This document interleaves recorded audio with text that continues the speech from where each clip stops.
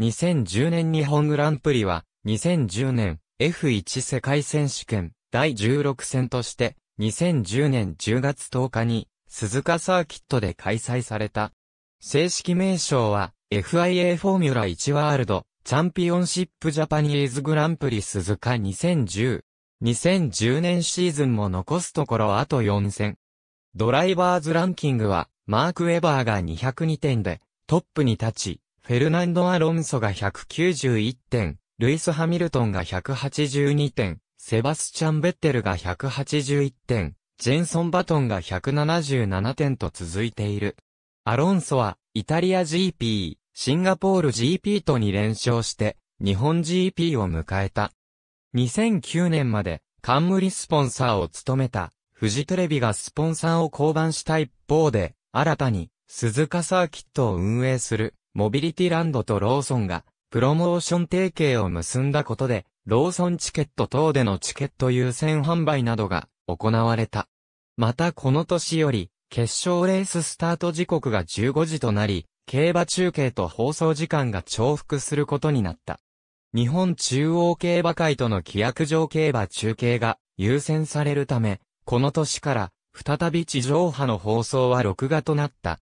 ヘビーウェットコンディションとなった土曜日のフリー走行鈴鹿サーキットは金曜日フリー走行2回目が終了した直後から雨に見舞われ、土曜日になっても悪天候が続いた。フリー走行でも、ハイメ・アルグエルスワリとティモ・グロックが低速でタイムを記録した以外は、全員がアタックラップを行うことなく終了した。14時の予選開始時刻が迫っても雨足は強まる。一方で、30分おきにマーシャルカーが出動して、コース状況を確認した。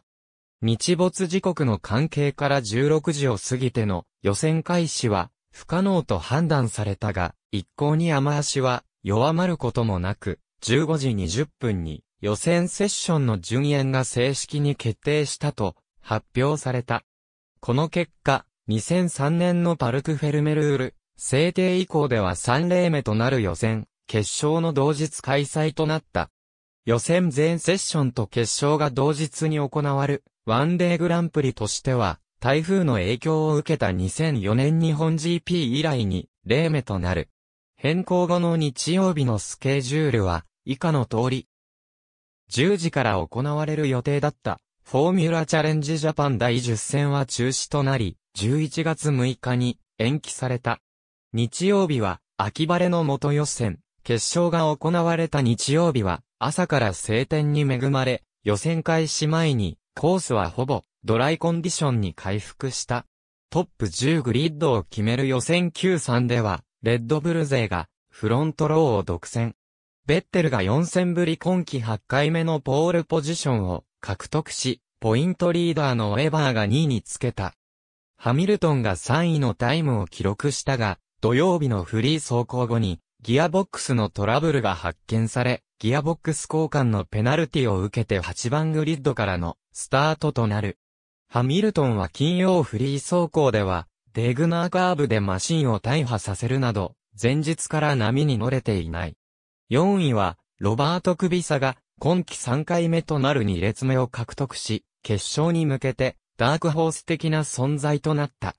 以下、アロンソ、バトンに続き、メルセデスとウィリアムズの4台が7から10位に並んだ。フェリペ・マッサは9位でコースの渋滞にはまり、12位に終わった。日本人ドライバーは小林カムイが14位、山本左近が最下位の24位からスタートする。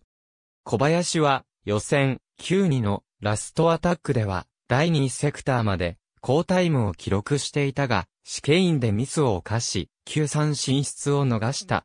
前日の雨で路面のラバーが流れ落ちているため、決勝ではタイヤの消耗度が読みづらい状況となった。Q3 進出者の中ではバトンのみがハードタイヤを装着しており、その戦略が注目された。オープニングラップの S 字コーナーを通過するトップグループ表彰台を獲得したベッテル、ウェバー、アロンソのウィニングランバリチェロをかわし、チームメイトのハイドフェルドを追い上げる小林カムイ、力走する山本左近ダミーグリッド上でスタートへの準備が進む中、ルーカス・ディグラッシュがレコノサンスラップ中にクラッシュし、決勝レースに出走できなくなった。スタートではベッテルが順当に、ホールショットを決める一方、ウェバーは首差にかわされ3位に後退した。その後方では、大きなクラッシュが2件発生した。ニコ・ヒルケンベルグがスタートを失敗し、後方から来たビタリー・ペトロフと接触。ヒルケンベルグはマシン後部を大破し、ペトロフも、スタンド側のガードレールに激突した。1コーナーでは、フェリペ・マッサが、イン側の芝生に乗り上げて、コントロールを失い、ビタントニオ・リウッツの横腹に激突した。これらの接触で4台がリタイアし、直ちにセーフティカーが導入された。さらに、ニークビサもセーフティーカー走行中に、右リアタイヤが脱輪して、マシンを止めた。7周目のレース再開時の順位は、ベッテル、ウェバー、アロンソ、バトン、ハミルトン、バリチェローとなった。レッドブルの2台が会長に飛ばし、5秒ほど遅れて、アロンソが続く。レースが進むにつれ路面コンディションは改善され、ソフトタイヤの耐久性への不安は解消された。20周過ぎにタイヤ交換のタイミングを迎えたが、ピットイン後も上位の展開は変わらない。バトンは38周目までタイヤ交換を遅らせたが、ハードタイヤでのロングランは不発に終わった。チームメイトのハミルトンは交換したギアボックスがまた故障して3速以下を失い、4位のポジションをバトンに譲った。44周目、10位走行中のエイドリアン・スーティルがエンジンから白煙を上げてストップ。ニコ・ロズベルグとミハエル・シューマッハはチームメイト同士で6位を争っていたが、47周目、逆バンク付近でロズベルグの左リアタイヤが脱輪し、クラッシュを喫した。ベッテルは同僚、ウェバーのプレッシャーを浴び続けながらも、冷静にレースをコントロールして53周を走り切り、ポールトゥウィンを達成した。第9戦ヨーロッパ GP 以来となる勝利で、チャンピオンシップでは、アロンソと同点に並んだ。アロンソは、レッドブル向きのサーキットで、ウェバーとの点差拡大を、最小限に抑えられたことに満足した。14番手スタートの小林は、バトンと同じくハードソフトというタイヤ戦略で、レースに臨んだ。スタート直後の混乱を切り抜けると、注意グループの混戦でマシンを傷つけながらも、ポジションアップし、上位4強チームに次ぐ7位という好成績を収めた。抜き所の少ない鈴鹿において、小林は、ヘアピンコーナーへの侵入という意外なポイントで5度のオーバーテイクを成功させ、来場の観客を熱狂させた。ザウバーシー29は直線スピードが伸びず、小林は僕らの車はあそこしか抜くとこがないと狙っていた。